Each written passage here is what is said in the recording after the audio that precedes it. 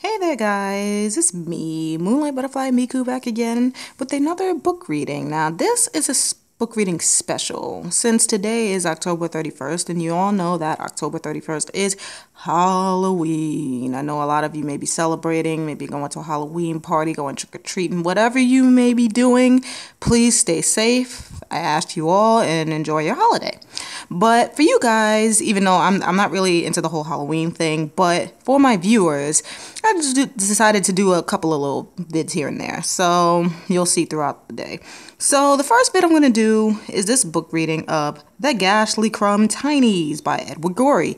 A lot of people probably, I don't know how many of you heard of this book, but the first time I saw this book was um, ultimately, surprisingly, in an episode of um, Degrassi The Next Generation. One of the characters, Ellie Nash, she was reading it at lunch. And I was like, okay, that book looked interesting. I wanted to pick it up. So I figured today would be the perfect time to read it. So, and it's a very short book. So let's jump right into The Gashlycrumb Tinies, or After the Outing by Edward Gorey. Okay. A is for Amy, who fell down the stairs. B is for Basil, assaulted by bears. C is for Clara, who wasted away. D is for Desmond, thrown out of a sleigh. E is for Ernest, who choked on a peach. F is for Fanny, sucked dry by a leech. G is for George, smothered under a rug. H is for Hector, done in by a thug. I is for Ida, who drowned in a lake. J is for James, who took lye by mistake. K is for Kate, who was struck with an axe. L is for Leo, who swallowed some tacks. M is for Maud, who was swept out to sea.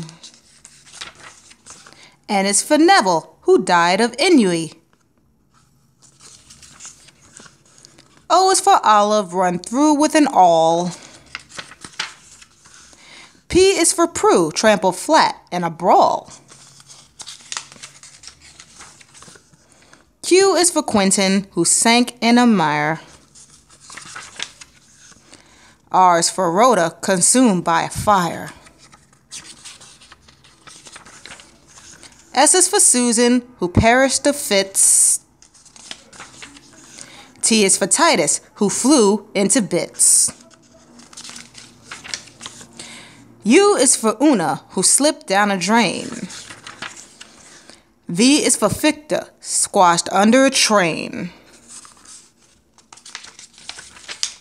W is for Winnie, embedded in ice. X is for Xerxes, devoured by mice.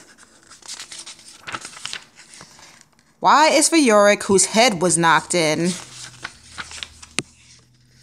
And Z is for Zillah, who drank too much gin. that's it.